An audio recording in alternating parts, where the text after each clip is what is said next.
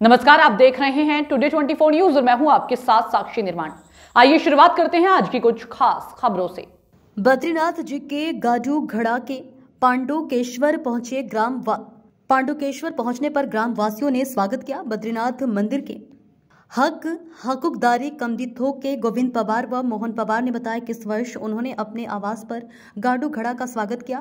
प्रातः गाडू घड़ा पूजन के बाद भोग प्रसाद अर्पित किया गया। श्री बद्रीनाथ केदारनाथ मंदिर समिति के उपाध्यक्ष किशोर पवार ने बताया कि पूर्व परंपरा अनुसार आज श्री योग बद्री मंदिर में भगवान उद्धव जी कुबेर जी एवं गाडू घड़ा पूजन व भोग अर्पित किया गया। कहा कि गाडू घड़ा बसंत पंचमी को टिहरी राज दरबार में पहुंचेगा, जिसके बाद भगवान श्री बद्री विशाल जी के कपाट खुलने की तिथि घोषित होगी।